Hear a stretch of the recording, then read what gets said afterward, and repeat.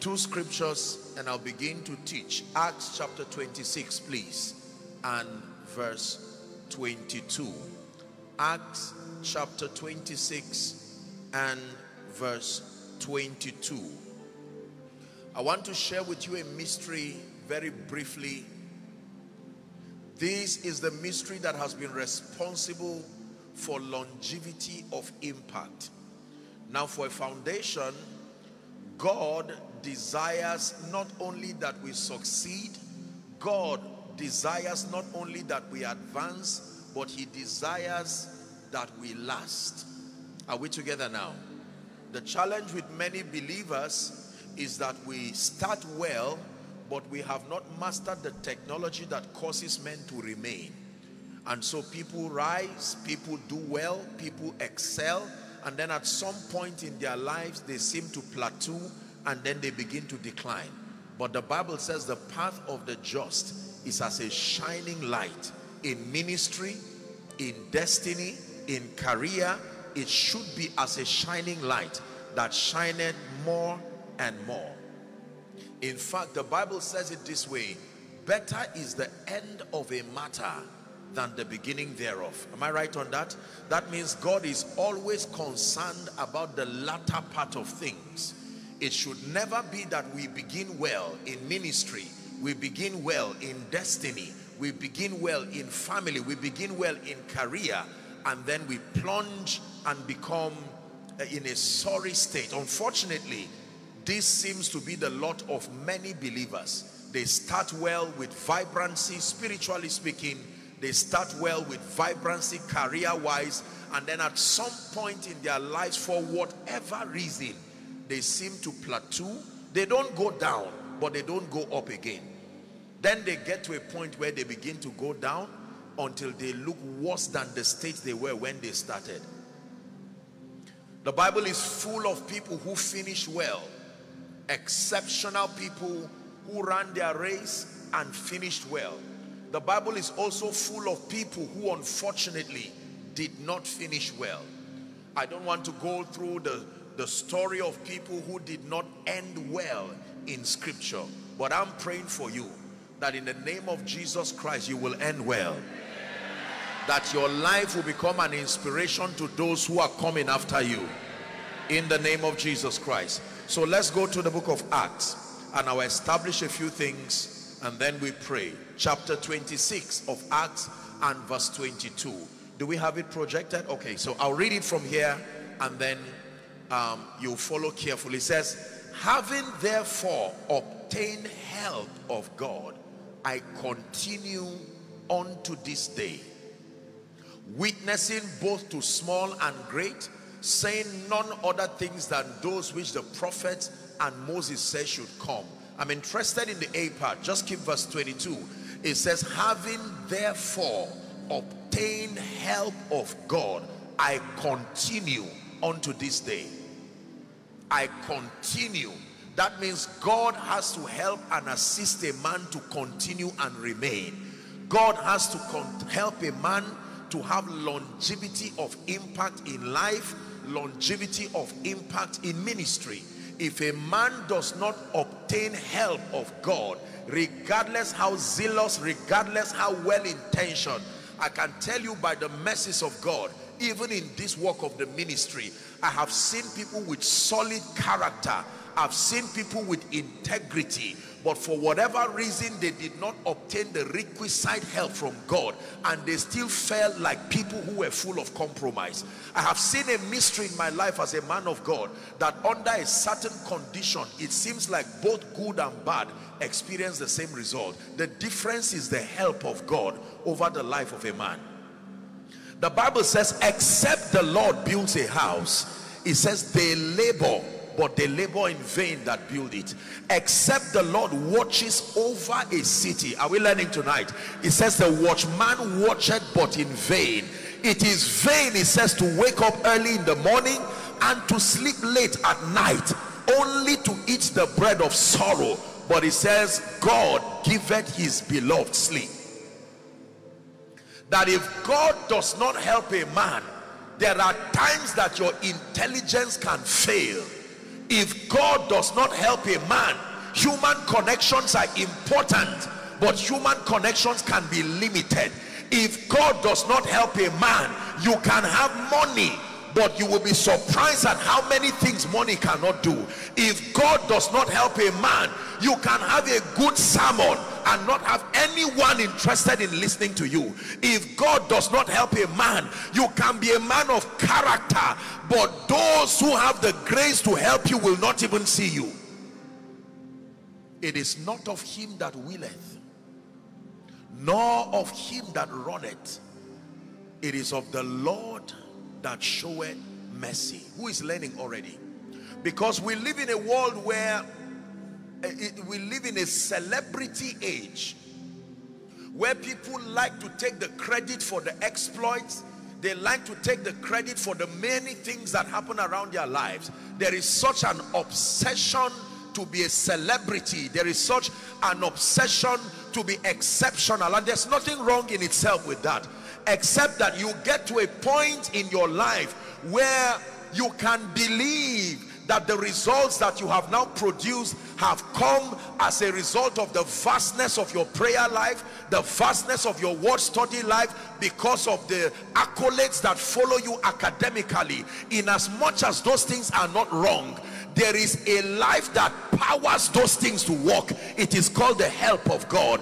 That without the help of God you can be as sound intellectually as you can be. You will still fail in life. Without the help of God you can be skilled and gifted. You will still be ignored. Without the help of God you can be a man of God fast in scripture and you will be surprised that your life will not go forward. You will be surprised that ministry will not go forward there are parents who raise their children in a way that no child should be um, a tragedy after that kind of training. And yet almost all the children turn out to be a source of pain. It was not lack of discipline. And I've seen other people who did not make any investment in their children. And God meandered those children to ministries that midwife their training. It is not of him that willeth you are Ebenezer, the helper of men. You are Ebenezer. Behind the exploits of men, exploits in ministry, behind the exploits of men, exploits in the area of influence, finances, and so on and so forth. I am telling you that there are laws to be obeyed. There are principles to be kept. I agree but when all is said and done, there is a part of the equation of success that no man can feel. It is only the help of God that becomes the completer of that equation. Hallelujah. I would always say that there are times when you desire to catch fish as a fisherman.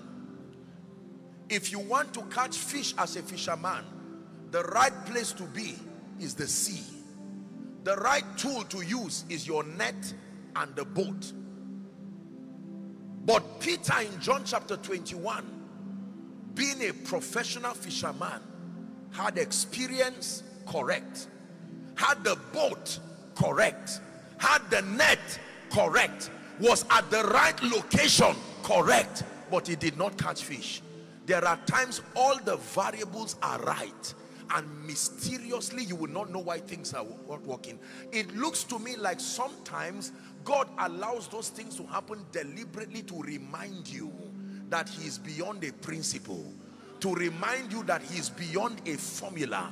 Principles are powerful but there is an agency beyond them. Are we learning? Having obtained help from the Lord I continue ministry to this day I continue career to this day. We live in a world where we are embarrassed to declare before the nations that God is the reason behind our results. We like to take credit for the things that God wrought through us and sometimes in doing so we push God out of the space because we make him look like he's a nuisance. We This celebrity mentality puts us in a position where we want to receive the accolades. If there is anything I have learned about God is that when you stand his way of receiving glory, even if he's the one that blesses you or has blessed you to that position, he will fight you. God can fight something he once gave you because of the way you and that thing has interrupted him from being seen. Just because God gave you something does not mean it cannot become his enemy. The enemy of God is anyone and anything that perpetually becomes an interruption to his being glorified. That can be your gift. That can even be your church. God can fight good things. He does not only fight evil, God can fight good things. If they become an interruption to his being glorified, he will fight it. Let me tell you the truth. There are many people's decline in life that is not entirely demonic. They made up their minds to take the place of God.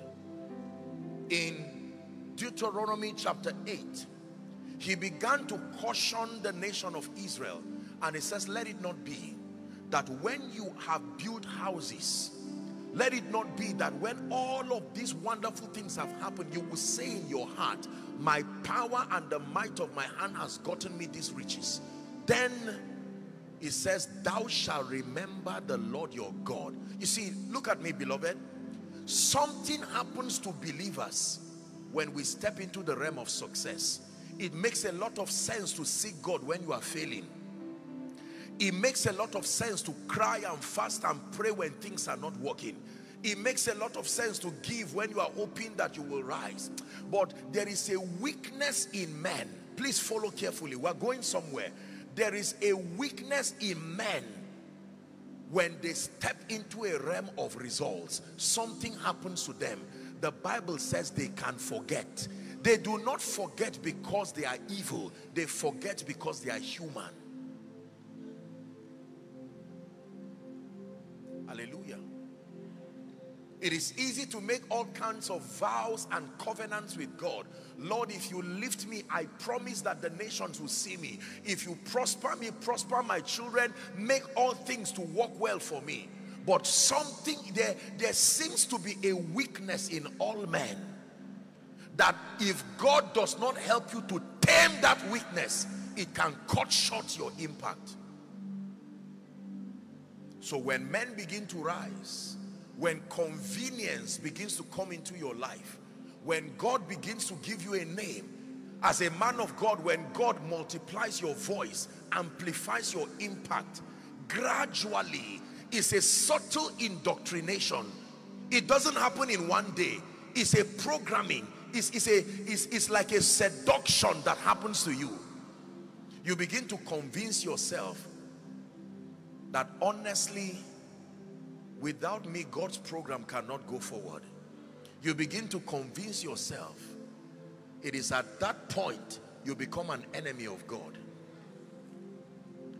Because if there is anything I know about God, He's passionate about being revealed and glorified in the world of men. And if anyone becomes an interruption to that agenda, I assure you, you become an enemy of the cross. Are we together? So to remind you that if you celebrate 40 years of impact and you watch a matriarch like our mother still walking in humility and giving God praise after 40 years, it is worthy of commendation. There are people who cannot last two years of experiencing results. It becomes a cost to them.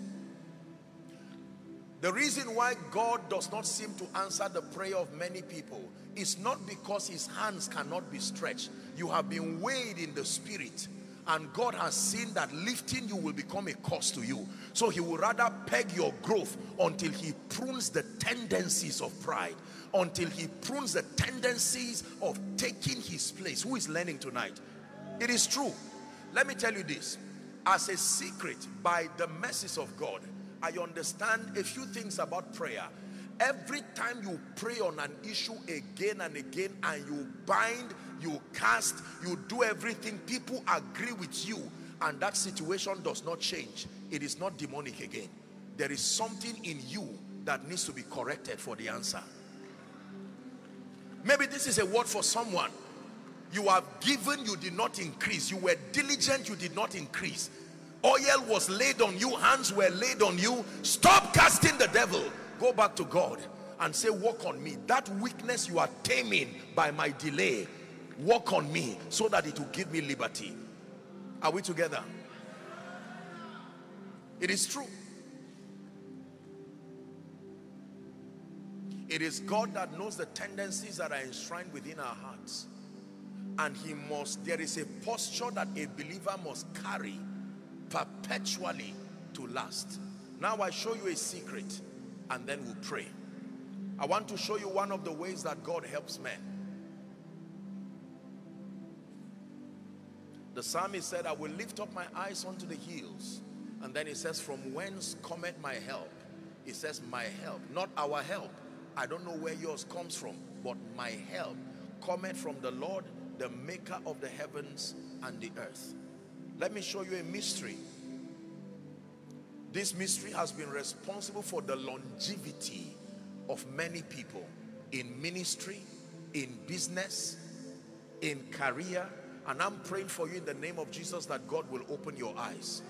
That you will engage this mystery for your profiting and that for the rest of your life. You believe that? Shout a loud amen. Isaiah chapter 40, please. Let's go to verse 28. We're doing three verses.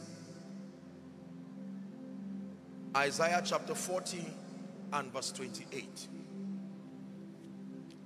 The Bible starts by saying, Hast thou not known and hast thou not heard that the everlasting God Pay attention now. He's talking about God, the everlasting God, the Lord, the creator of the ends of the earth, fainted not. Take note now. He's introducing the subject of weariness. But he's saying in discussing that subject, let us settle it first and foremost that there is one who is exempted from that limitation by reason of who he is. I'm about to talk about a subject but he says, so that you do not think it's a weakness that befalls all men, that God is exempted from this limitation. He fainted not, neither is weary. He says there is no searching of his understanding. So he expects you to get that as a preamble. Now that you understand that God is not weak and does not faint, he tells you something about the world of men. Verse 29. He giveth power to the faint so there is hope for everyone who faints. He giveth power to the faint. And to them that have no might, he increaseth strength. Is someone learning tonight?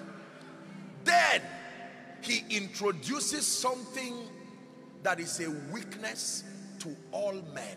It doesn't matter who you are. Once you find yourself in flesh and blood, this weakness will eventually catch up with you if you do not know how to circumvent your way above it. The weakness is in verse 30. Even the youth shall faint, not may faint, shall faint. It's not a cause. He's revealing something that was programmed with the fallen nature. That, that it is it is part and parcel of the human nature. The youth shall faint and be weary the young men shall utterly fall. He talks of fainting. He talks of weariness. Verse 30. Please back up to verse 30 again. Fainting, weariness, and even falling. But then he tells us there is a way out. But they, not but all, but they, not everyone will be interested in engaging this mystery, but they that wait upon the Lord. The Bible says a few things will begin to happen to those they that they will renew their strength.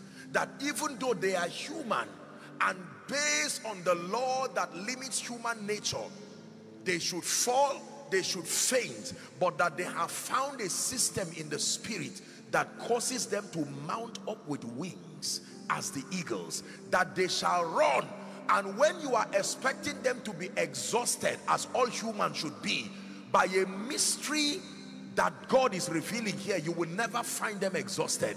That they will run and not be weary. They will walk and not faint. If that looks like you, shout aloud, amen.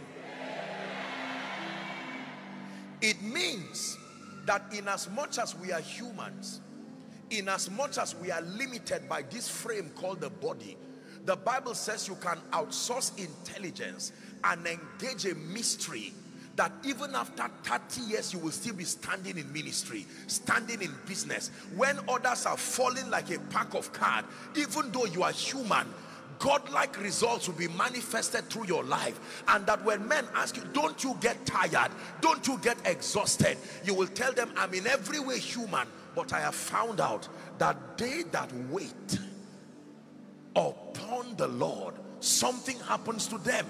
Remember the bible says if you fall or faint or turn aside in the day of battle the diagnosis is a strength problem. That every time you are afraid of moving forward if anything affects your continuity it is a strength problem. And the bible says it is human to gas out. It is human to lose strength for various reasons. The enmity and the wickedness of men is enough to exhaust you in this life that the fact that you are making progress men can be used by the devil and they can become blockades to your moving forward. Why are you the only one rising in this office? Why are you the only one rising? Daniel you are not the only one in babylon. Let's let's probe the reason why daniel does not seem to be exhausted. And a whole parliament sat down to discuss a matter so it affects one man so the man cannot continue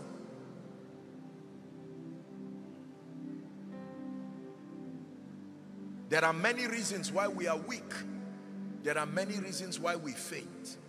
One of it is because of the reality of the world that we live in. The Bible says our world is surrounded with evil, that the whole world lieth in wickedness.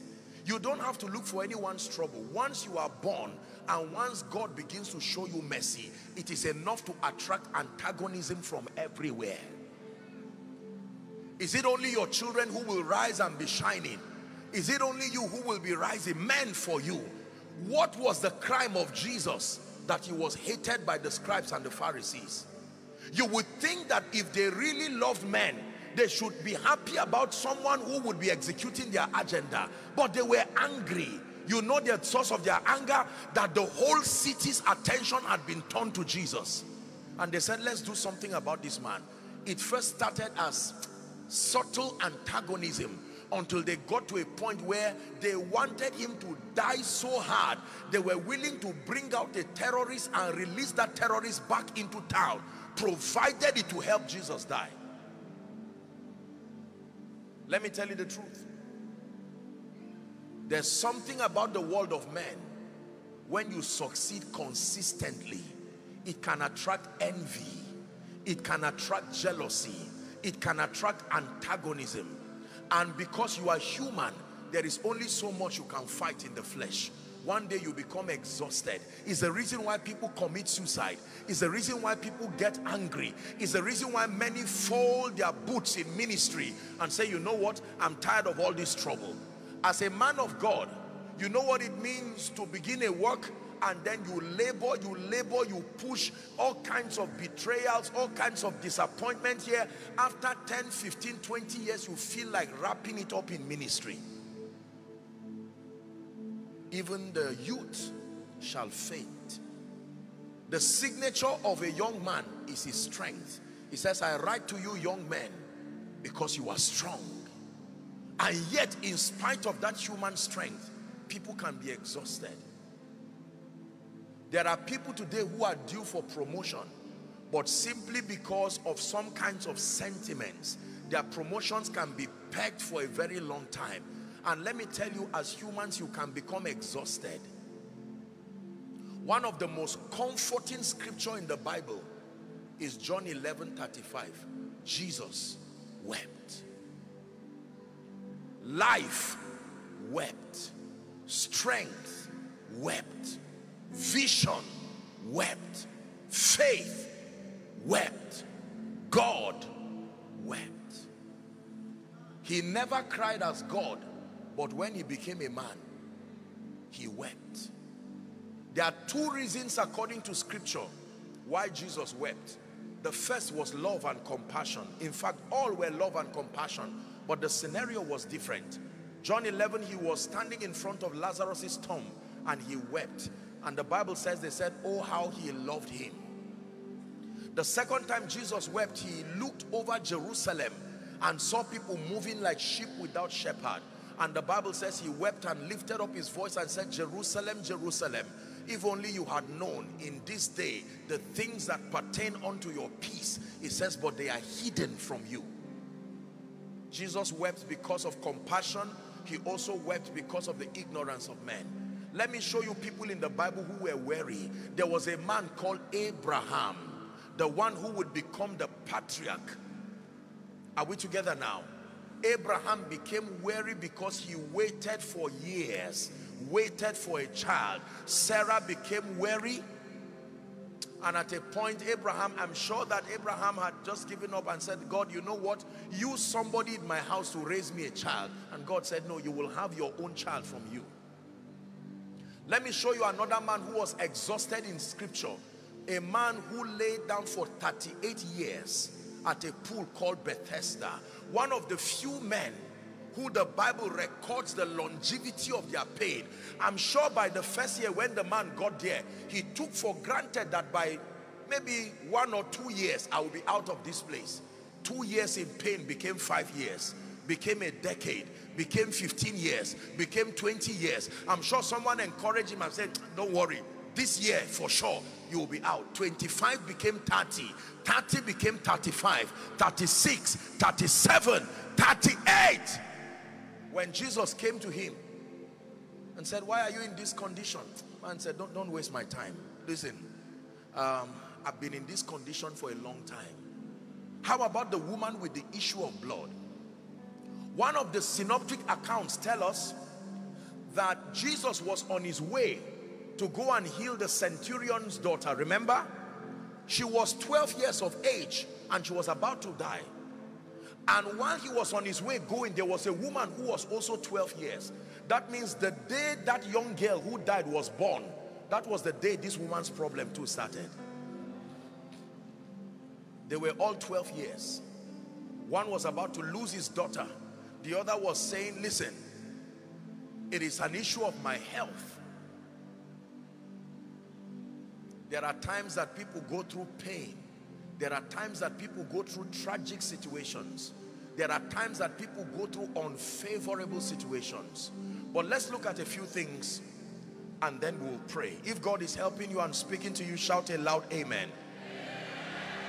So the first information we get from Isaiah 40, and please pay attention now. The strategy that helps you to obtain help, giving you longevity in life, that even though you are human, you are able to conquer the limitations of weariness, the limitations of fatigue, the limitations of exhaustion, and you continue until you finish your race. You will finish strong. I prophesy to someone, you will finish strong. In the name of Jesus Christ. So number one, the first information we learn from that scripture, Isaiah 40, is that God does not faint and God is not weary, not as God. When he became a man in Christ, he was tired. Jesus slept because he was tired. Jesus was hungry. He was exhausted.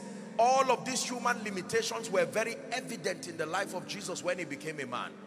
But as God, the Bible says God does not faint. It is hopeful for us to know that. Scripture puts it in a very beautiful way. That the keeper of Israel that he does not sleep, he does not slumber. Isn't that amazing? There is no exhaustion with God. Number two, the Bible gives us an information that whoever faints needs power. When you find yourself fainting emotionally, fainting spiritually, fainting in, in every area of your life, what you are in need of is power. And that whoever has no might what God does to such a one is to increase strength. Then he tells us that all men, even the youth, and the young men will faint and be weary and even utterly fall fall in ministry fall in life fall in destiny fall in career but then he says 31 they that wait upon the Lord someone shout I will wait one more time say I will wait. They that wait upon the Lord the Bible says they shall renew their strength. Now what does it mean to wait upon the Lord? Seeing then that strength renewal revitalization is connected to this mystery. That means the mystery of sustainable impact void of weariness void of exhaustion that as the years come so your energies sustained and multiplied. The bible says the mystery that controls that kind of outcome in a believer is called waiting upon the lord. What does it mean to wait upon the lord? Waiting upon the lord is beyond prayer and fasting. Most times when we say i'm waiting upon the lord we say that to mean i'm on a fast. And while there is an expression of that there waiting upon the lord uh, is is way beyond just prayer and fasting. Hallelujah. I'll give you three definitions and then we'll pray. Number one to wait upon the lord means to look unto jesus. It is a description of total dependence a state of total dependence. Waiting upon the Lord number one suggests having this consciousness that if God does not help me if God does not open a door for me if God does not become an anchor and strength and help for me by the strength of the flesh I will not be able to do much.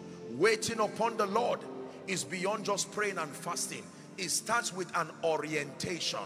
Is someone learning now you are waiting upon the Lord when you number one sustain this orientation that it is of the Lord's mercy that we are not consumed and that by the strength of the flesh no matter how dexterous and no matter how competent you are eventually you will gas out eventually you will be weary. Someone say I will wait. I will wait means that I declare in advance that I am helpless outside of the help of God. I declare in advance that my education, as important as it is, has limitations in the world of men. That my skill, my expertise, my knowledge, are we together now? Everything that constitutes an advantage in my life will eventually be frail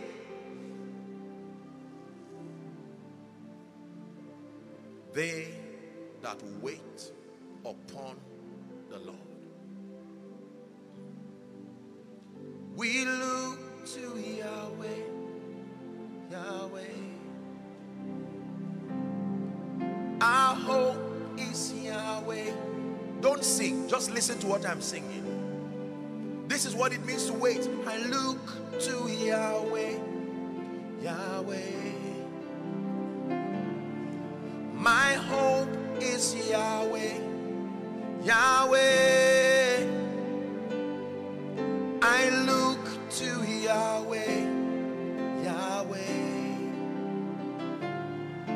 Forever Yahweh, Yahweh. Listen, if you can turn this song to a mentality, then you have learned how to wait. It is beyond a special number. It is an orientation you must carry for the rest of your life. I look unto you like a maid looks unto her mistress for help. Lord, if you do not help me, I cannot go beyond this place. Some trust in horses and others trust in chariots. He said, but we will trust in the name of our God.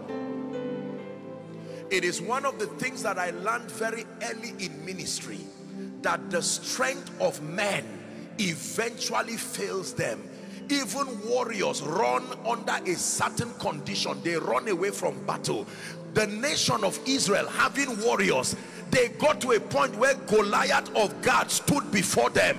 And he said King Saul bring me a man to fight me. Every day he kept coming. And the Bible says their strength failed them. The warriors were afraid. There are things that confront you in this life that even if you are Elijah you will run away to hide. So I look to Yahweh Yahweh that's what it means to wait number one. My hope is Yahweh Yahweh. I look to Yahweh Yahweh. Forever Yahweh Yahweh.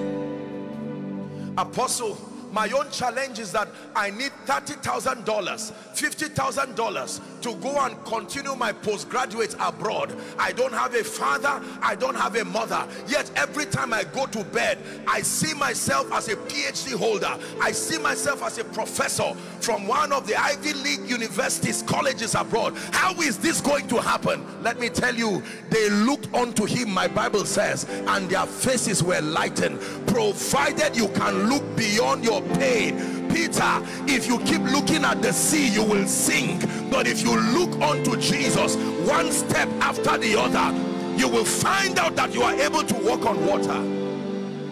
We look to Yahweh Yahweh.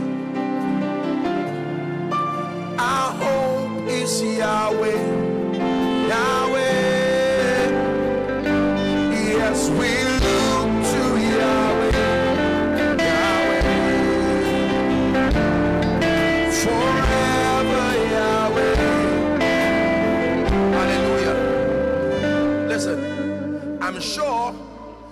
we call our mother out and tell her, please tell us the story, the journey of this ministry. She will tell you that there were times that she stood and said, God, you are my only help. If you do not lead me, I have nowhere to go. There is something I know about God. He likes the sound of surrender and dependence. He likes the sound of surrender and dependence. Hallelujah. My dear friend and brother is here, Pastor Shola. We were talking about it this morning.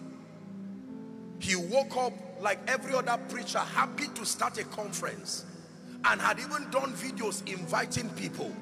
And about a few hours to the conference, the entire church was gutted by fire. Not a single chair was taken out of it. I'm sure, I'm sure you all saw it. There is something about God. When you know but even when you cry you will still say I know that there is an end to this. That your tears will no longer be tears of hopelessness.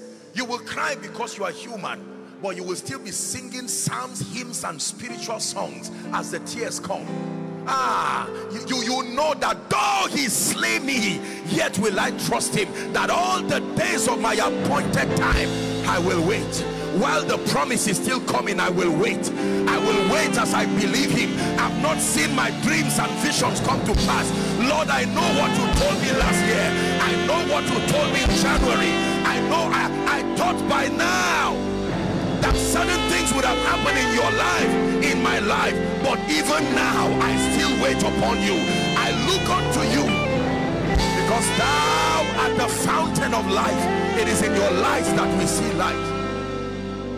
Someone lay your hands on your head in one minute and say father the grace to look unto you the grace to depend on you. Someone is praying.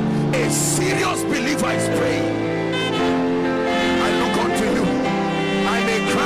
I will wait on you. I may weep, but I will wait on you. It may tell on my human nature, but I will wait. It pays to wait. It pays to look unto Jesus.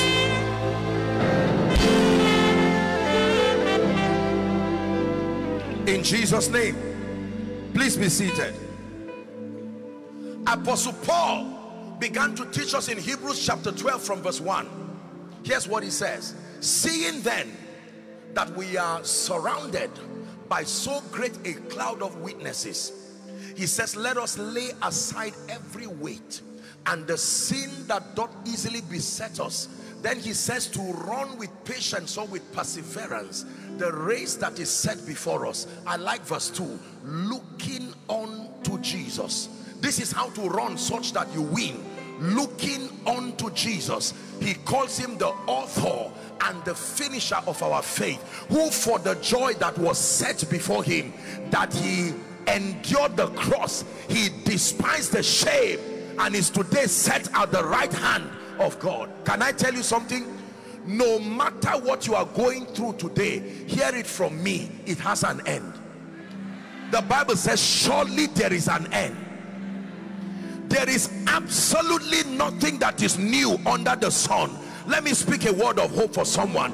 The thing that was is the thing that is and is the thing that is to come. There is nothing new under the sun. Rent issue it is not new. Looking for the fruit of the womb it is not new. Looking for a spouse it is not new. Weeping over someone who has transited it is not new.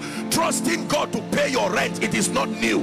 Trusting God to own your home it is not new. Trusting God to be a graduate is not new everything that you see that you desire has happened to someone before. And the Bible says follow them who through faith and patience have obtained the promise. You are not the first to start ministry. You are not the first to desire longevity in ministry. You are not the first to desire the fruit of the womb. You are not the first to desire a spouse. You are not the first to desire a job. It has happened before and there were people who triumphed over it. It says hear my cry o lord. Attend unto my prayer. From the ends of the earth will i call unto you that when my heart is overwhelmed it says lead me to the rock. There is a rock that is higher than i. That rock is jesus. That rock is jesus. That when men look unto him their faces become lightened please be seated so waiting upon the Lord, number one, refers to an orientation, a mentality of total dependence. You can fast and pray, but not with a mentality that knows that if God does not help me, I cannot go further. You did not wait upon the Lord. Waiting upon the Lord does not start with an activity. It starts with an orientation. An orientation and orientation. God, if you do not help me, there is no way out. Total dependence. I like how Proverbs chapter 3 puts it from verse 5 to 7. Here's what it says. Trust in the Lord. Abundant life. Hear me. Trust in the Lord. The Bible says with all your heart. It says, and lean not unto your own understanding. Verse 6 says, in all your ways. How many? In all your ways. Acknowledge him the word acknowledge is a very important word. Acknowledge does not mean to recognize him. To place so much priority on him that he knows that without him you cannot move further. Acknowledge him and he shall direct your path. Verse 7 says, Be not wise in your own understanding. Fear the Lord and turn away from evil.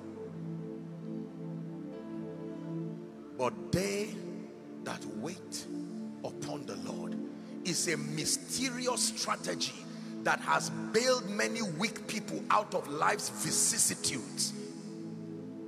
Hallelujah. Still speaking about Pastor Shola. You need to go back and take a visit in that church and you will know that God reigns over the affairs of men. I believe that God used that event to speak a message to the body of Christ that it doesn't matter where you find yourself regretting over where you are will not solve the problem. But he told Abraham he said lift up your eyes. Even you if your feet cannot get there your eyes can go there. Lift up your eyes from where you are not where you want to be from where thou art. Take your eyes northward southward eastward westward. He says as far as your eyes can see I have given unto you as an inheritance Hallelujah. To look unto Jesus. To have an orientation that my entire life's journey depends on the supply of grace and help that comes from him. is the first thing the Bible refers to as waiting upon the Lord. Number two, what does it mean